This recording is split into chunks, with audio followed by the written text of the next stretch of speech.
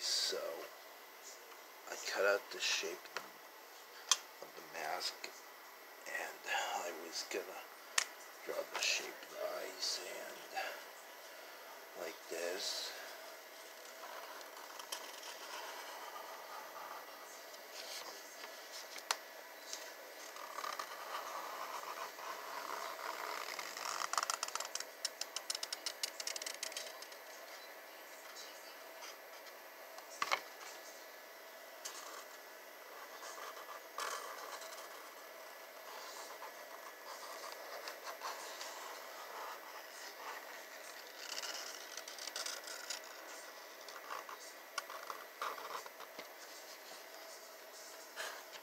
There we go.